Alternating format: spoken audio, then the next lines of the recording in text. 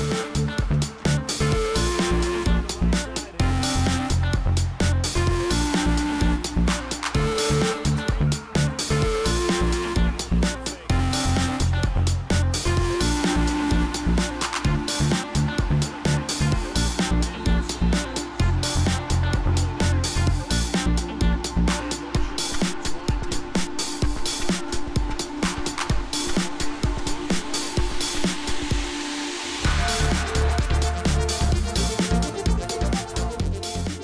Need more help or just want to show your support? Then head over to my Patreon and join my team, where you can get exclusive content like ebooks and bonus plays, as well as early access to my vids and more. Link in the description below. Welcome back, YouTubers and Madden fans. This is Madden Money Shot, sniffing out the Madden cheese as always. I got some plays for you today out of the Buffalo Bills playbook. I put out a run play a little while ago uh, that was just unique to this playbook. This playbook right here was the only playbook that put out or the only playbook that has the uh, halfback toss out of the single back trio. So I like that play so much, I put out a play out of that. And I told you guys if you hit the like button, I put out more Bills stuff. And I got a lot of requests on top of it. So I'm going back to the Bills. Uh, this book right here is, is slowly becoming uh, uh, one of my more favorite playbooks. There's a lot of really good formations in it. It has the single back tight slots, which is kind of a must for Madden this year. I mean, it's such a cheesy formation. You kind of need it. Um, it does it does have my halfback wheel play, so I use that play probably more than anything. Uh, the toss play, all that. Um, there's some really good formations in here. Uh, it has the uh, one of my more favorite formations going back a little bit. If I can find it here outside of the gun formation, this is the next formation I like to do. The gun bunch quads. Um, I have a couple of plays out here I like to do. So if you guys want to see it, hit the like button.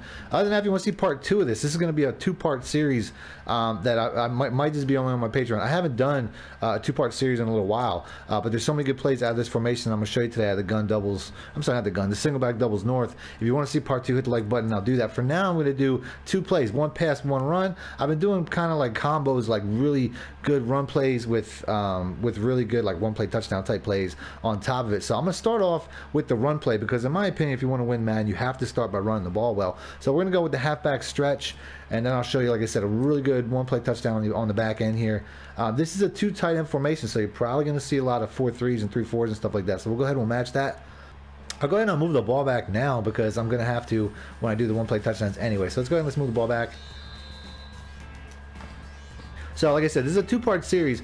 All of these um, plays are going to have the same adjustment, which is basically this receiver is going to come over and it's going to turn this tight formation, more like half a tight formation, into a bunch. That's the one consistent theme you're going to see in every one of my plays so that your opponent will never know, you'll never have a tell on what the play is. So, what I'm going to do here is I'm going to flip this play first so that when I motion this guy over, I can, I can have a couple things I can do. I can, I can have him come to a stop uh, I'm not a huge fan of that. I like the motion block, uh, but it really doesn't matter. Uh, either way, your opponent's going to see that receiver constantly coming over, and they're not going to know what the play is uh, until the play's hiked. Now, if you do the motion block, that's a little bit of a tell, but it's such a you know it's such a quick reaction. How much time do they really have? to figure it out. You know what I mean? Like they got a, a, split second. And shady man, you're not fast enough to get going, bro. I was feeling that touchdown, bro. So there you go. I mean, you can see what type of uh, explosive play it is. First try, and we're getting just a crazy run. If it's a man coverage like this appears to be, it might make sense to you. You got a couple different options. You can you can.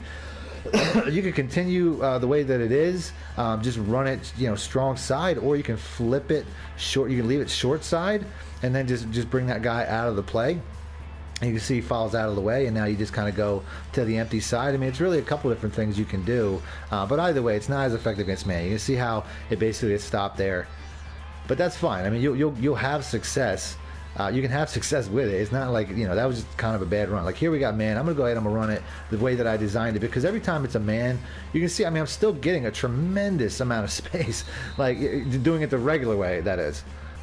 So whether it's a man or a zone, I would say just run it as is.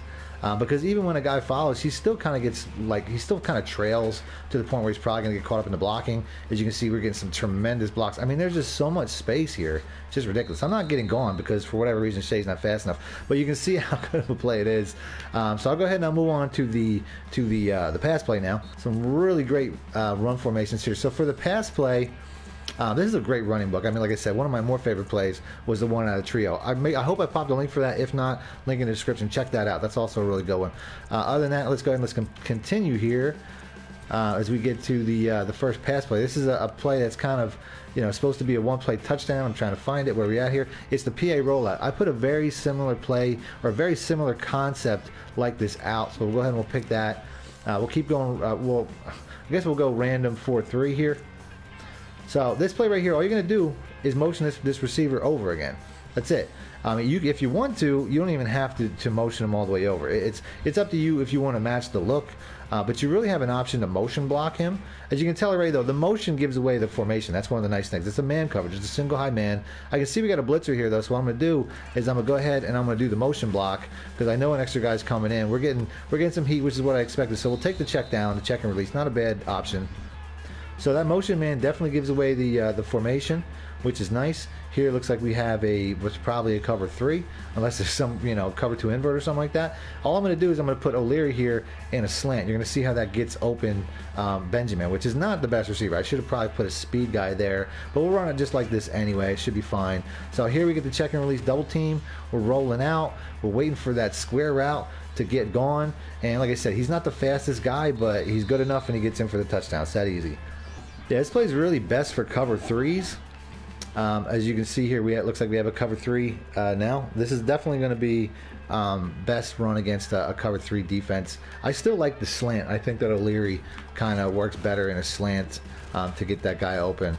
And I forgot to shift my line, but it doesn't really matter. So here we're going to go ahead. We're going to wait for that guy to clear. Like I said, not the fastest guy, but he's still going to get it done. As you can see, we get another touchdown. Cover three is definitely for best. Yeah, what makes this play so good is you can just see how when I motion over Jones here, watch what happens to that corner. He just drops down, kind of a little bit out of position considering he's supposed to be covering deep. so what I'm going to do here, if I really want to um, get more dramatic results, I can put McCoy out into a flat route, uh, let that check and release do his job. You're going to see how it just helps to hold that cornerback down that much more, and then we can see it. We just bomb it up over top. Um, just as long as you get a nice pass lead, a nice you know directional pass lead, you're going to be money all day. And like I said, you want to put a faster receiver where Benjamin is. I'm going to try to do that before I finish the next two plays uh, for part two in this video. Or if you guys want to check it out on my Patreon right now, uh, the next two plays will be on there. Uh, other than that, like I said, if you want to see part two on, on YouTube, hit the like button. I'll do that. And that's it. Thanks for watching, man. Moish it out.